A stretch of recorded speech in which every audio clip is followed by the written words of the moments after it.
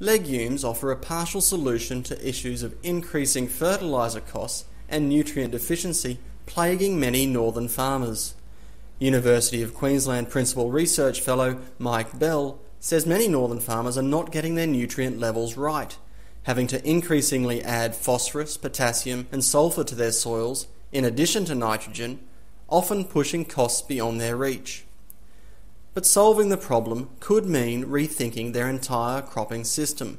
And we think legumes offer a solution in that area because they're a way of getting nitrogen into the cropping system uh, to try and then allow us to divert money we're now spending on nitrogen for sorghum and wheat and put that into phosphorus, potassium and sulphur to grow legumes and also to support those other grain crops. Dr Bell, who heads up the Soils and Farming Systems research team at Queensland's Alliance for Agriculture and Food Innovation, spoke on the subject at the Summer Grains Conference, an event supported by the Grains Research and Development Corporation. He believes the soil fertility situation could be even worse than many farmers realise. The nutrient issues that we're struggling with are these phosphorus potassium issues in particular. The deficiencies are emerging deeper in the profile. So the industry's been soil testing quite shallow and getting a, a, perhaps a rosier picture of how the, of the soil fertility than is actually going on because a lot of the depletion we're seeing is occurring in that layer underneath.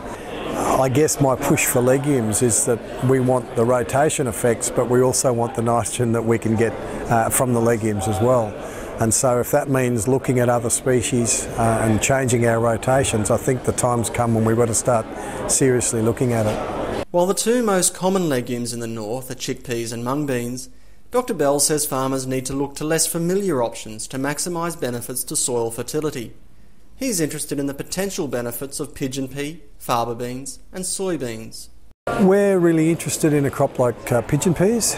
Um, pigeon pea is a, is a crop that's had a couple of incarnations in, in this part of the world, but there's a new set of germplasm out now that is not only determinate but also has insect resistance and apparently there's some quite uh, significant markets starting to develop in the in the um, the dal, the human consumption area, not not necessarily in Asia but also in America and Australia. So marketing looks interesting if we can get the crop to perform.